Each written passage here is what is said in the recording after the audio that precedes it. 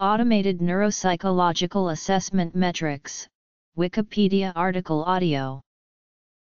Automated Neuropsychological Assessment Metrics is a library of computer-based assessments of cognitive domains including attention, concentration, reaction time, memory, processing speed, and decision-making. ANAM has been administered nearly 2 million times in a variety of applications and settings.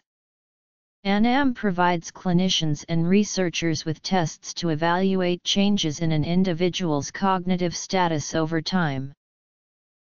Components of today's ANAM design reflect the work of dozens of talented scientists, and ANAM development is guided by public and private sector research.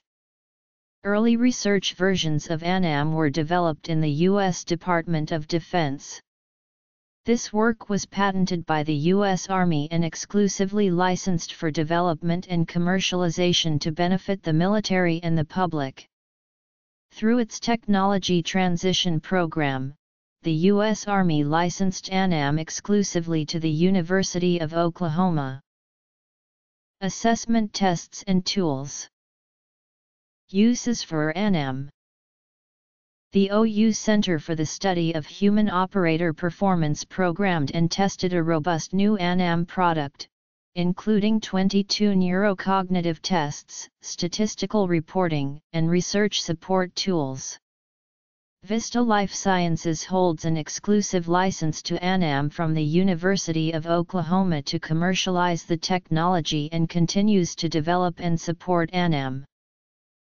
ANAM includes ANAM includes 22 individual tests sensitive to cognitive change in ANAM assessment batteries have been used in research and clinical work associated with injury, illness, exposure, risk factors, and intervention.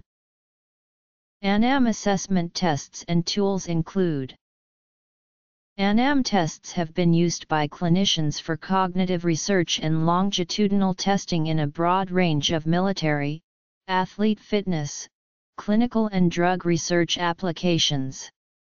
Assessments can be built into standardized or customized batteries. Scientists working in varied fields of healthcare and human factors research have identified ANAM batteries that are useful in their topic-specific research. ANAM research history includes decades of laboratory and clinical development. It has been referenced in more than 300 peer-reviewed independent research studies. ANAM has been used by some of the world's most prestigious scientific organizations including NASA, which uses ANAM-based WinSCAT to assess neurocognitive status. ANAM has a long and continuous history of research in the Department of Defense, including sports concussion studies at West Point and traumatic brain injury studies during FT. Bragg paratrooper training. Through these and other programs, nearly 2 million ANAM test sessions have been collected. Military research with ANAM is among the most comprehensive of any cognitive assessment technology. The Archives of Clinical Neuropsychology, the official journal of the National Academy of Neuropsychology, published a special edition of its journal focused exclusively on ANAM in 2007.